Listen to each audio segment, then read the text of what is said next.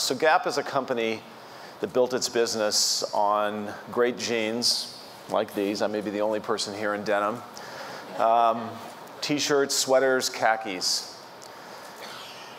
And as a CEO of a company like this, I serve many constituents. I serve certainly our customers, our employees, 135,000 around the globe, our shareholders, but very importantly, the communities that we do business in, and the workers in the factories where our products are made.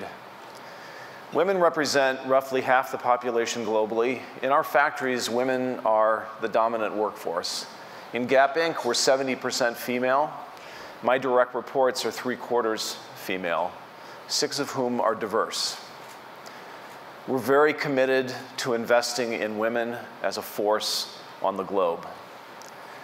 And in the work that we've been doing in our factories, um, it's clear around the world that women are often denied access, and importantly, denied access to education and to opportunity. And it's against this backdrop that we started the Gap Inc. PACE program in 2007 with partnership from Swasti, from ICRW, from CARE, and certainly our vendors who make our clothing, but also many other partners around the world.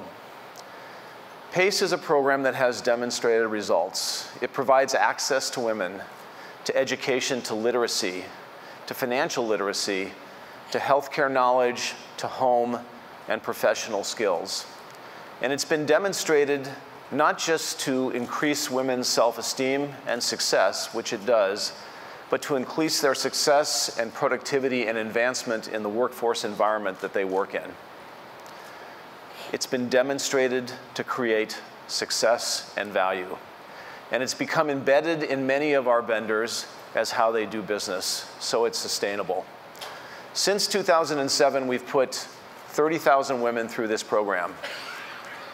You don't know me, but I'm really impatient. And so we set a much more aggressive objective to put a million women through the PACE program by 2020. And it's not actually an objective, it's a commitment. It's not an aspiration, it's not a goal, it's not an ambition, it's a commitment. We will do this. We need your help. We need the help of many, our vendors, our existing partners, and others.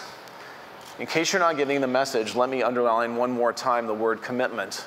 We believe this is the right thing to do for both our business and for society, and it's a commitment to move a million women through the PACE program by 2020. Thank you.